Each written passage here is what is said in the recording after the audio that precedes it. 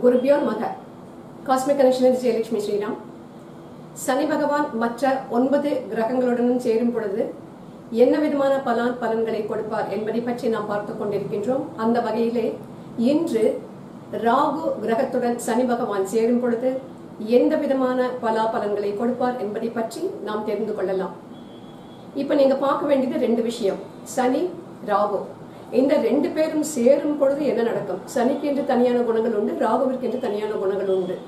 இவை இரண்டும் சேரும் பொழுது எந்த விதமான பலாபலன்களை கொடுக்கும்? அப்படிங்கறத நாம தெரிஞ்சுக்கணும். சனியை பொறுத்த வரைக்கும் உங்களுக்கு ஏற்கனவே தெரியும்.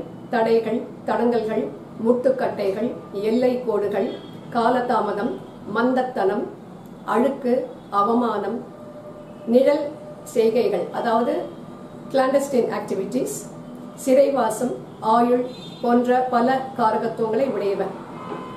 ராகுவை பொறுத்தவரை உங்களுக்கு தெரியும் மிகவும் பேராசைக்காரர் சனிக்கு குவைட் ஆப்போசிட் ராகுவை பொறுத்த வரைக்கும் அவனுக்கு தலை மட்டும்தான் இருக்கிறது உடம்பு கிடையாது இல்லையா?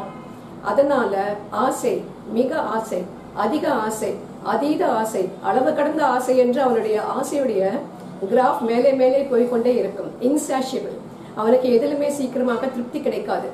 அப்படிப்பட்ட ராகு இந்த சனியுடன் சேரும் பொழுது என்ன விதமான பிரச்சனைகளை ஒருவருடைய வாழ்க்கையிலே கொடுப்பான் என்பதை பற்றி தான் நாம் தெரிந்து கொள்ள வேண்டும். சனியை பொறுத்த வரைக்கும் இன்சூரன்ஸ் எண்ணெய் அக்ரிகல்ச்சர் மூத்த சகோதரர்கள் நண்பர்கள் வேலைக்காரர்கள் போன்ற காரகத்துவங்களை கொண்டவன் ராகுவை பொறுத்தவரை எலக்ட்ரிக்கல் எலக்ட்ரானிக்ஸ் மெக்கானிக்கல் கெமிக்கல்ஸ் பலவிதமான பாஷைகள் மல்டிலிங்குவிஸ்டிக் ஸ்பெஷாலிட்டி டிரான்ஸ்போர்ட் ஆட்டோமொபைல் போன்ற விஷயங்களுக்கு உரியவன் இந்த ராகு சரி இவங்களுடைய காரகத்துவத்தை பற்றி தெரிந்து கொண்டோம். இனி இந்த சனியும் ராகுவும் ஒன்று சேர்ந்து ஒருவருடைய ஜாதகத்திலே என்ன விதமான பலாபலன்களை கொடுப்பார் என்பதை கூடிய விரைவில் நாம் தெரிந்து கொள்ளலாம். மீண்டும் உங்களை நான் சந்திக்கின்றேன். வாழ்க வளமுடன்.